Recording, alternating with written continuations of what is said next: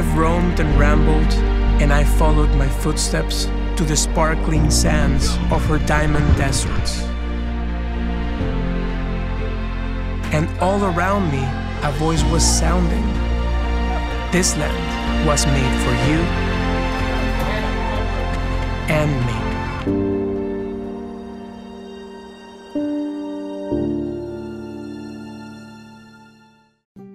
WhiskyCast. Brought to you by Redbreast. The definitive single pot still Irish whiskey. Those in the know, know Redbreast. There was always a bit of mystique about it. Where can I get it? It is Green Spot, one of the few remaining links to the single pot still Irish whiskies of the past. Green Spot was distilled for decades at the old Jameson Bow Street distillery in Dublin, but it was bottled by Mitchell and Sons, the legendary Dublin whiskey and wine merchant that dates back to 1805.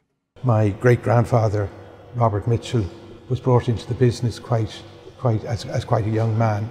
He, he, he ran the business in Grafton Street for a number of years. He then bought, um, expanded the business. He bought 21 Kildare Street, which housed the wine importing business and eventually was the administration for the whisky bonding business. That would have been in and around 1887. Back in the day, Mitchell and Sons and other Irish whiskey bonders imported barrels of wine from Europe, then had the empty barrels filled with whiskey. While the family's records show some barrels were filled at the Powers Distillery on Johns Lane, the vast majority went to Jameson's on Bow Street. The friendship built up probably at uh, various functions uh, in those days between the Jameson family and the Mitchell family, and um, lucky that friendship has, has stood the, the, test of time and um, it's led to a, a, good link with both our families. And um, I think it's the, the, history of the two families at the start and the relationship, and it's helped us to keep keep the likes of Green Spot going when the other ones have fallen to one side and not produced anymore. Robert Mitchell would would have a liaison at some stage with the um, the head distiller in in uh, in, in Jameson's, or two of them, and they'd come up, and after I think th- four to five years, they would examine each of the casks, and they would make the decision as to whether which cask would be best suited for a ten year old, twelve year old, or fifteen year old. They would make that decision there and then, and the cask was was daubed with a bit of green paint. If it was, they wanted that whiskey to, to develop at 10 years old.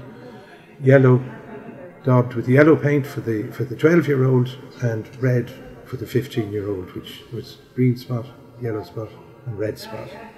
Yellow spot, red spot, and the seven year old blue spot eventually faded away into Irish whiskey history, but the Mitchells kept on producing green spot as the Irish whiskey industry consolidated into Irish distillers in the mid 60s and opened Midleton Distillery in 1975, the Mitchells were forced to make a decision.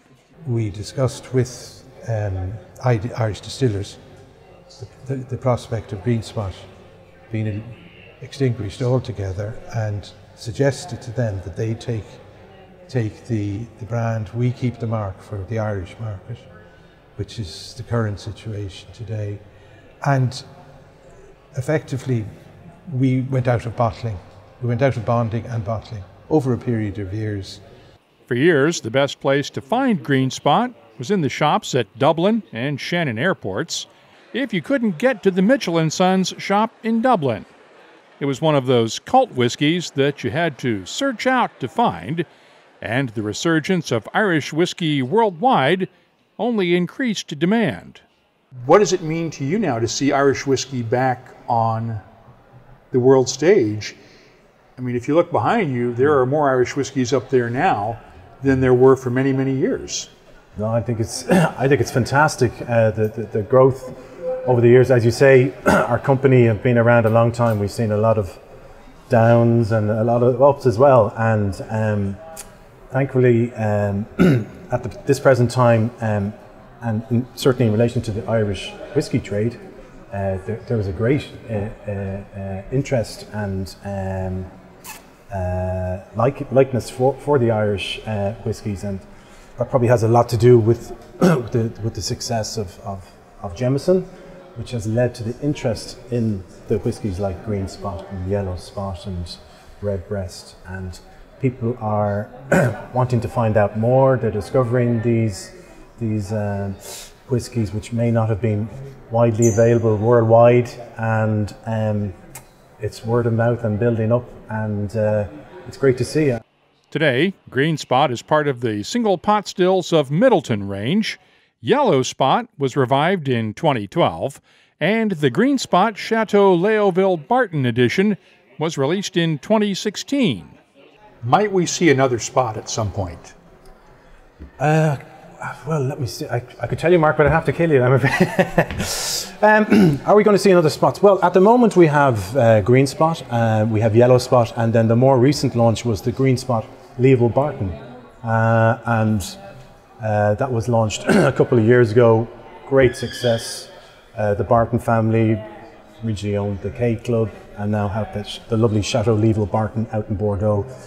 It's a great connection to be matched uh, with, with, the, with the green spot, the Mitchells, and to have the actual uh, barrels from Chateau Léoville Barton with the green spot age in those actual barrels is, is quite something, and it's a, certainly is a delicious um, blend to have. And um, I know from the shops here it's extremely popular, and that's the, the buzz spot at the, at the moment. But coming down the future, are there going to be spot range? I'm sure there is. I'm sure there is, and um, is it your decision to make, or is it IDL's decision to make? I think it's a combination of us all, really. Um, you know, uh, there's a lot of uh, appetite. It was, I mean, Green Spot was the only whiskey that uh, continuously had kept going. Uh, all the other spot ranges had come off the market. They reintroduced Yellow Spot, and the Green Spot Barton is, is totally brand new. So previously we did have uh, Red Spot and we did have a Blue Spot as well. Um, so whether it's maybe an alternative, um, another slant to the green spot or another spot range. Who knows? But um, I suppose watch the space. But um, it'd be great to see, and uh, I know we'd be thrilled to have uh, some more spots coming onto our onto our range. For more cask strength conversation on whiskies with the people who make them and the people who drink them, join us each week for WhiskyCast. In Dublin, Ireland, I'm Mark Gillespie.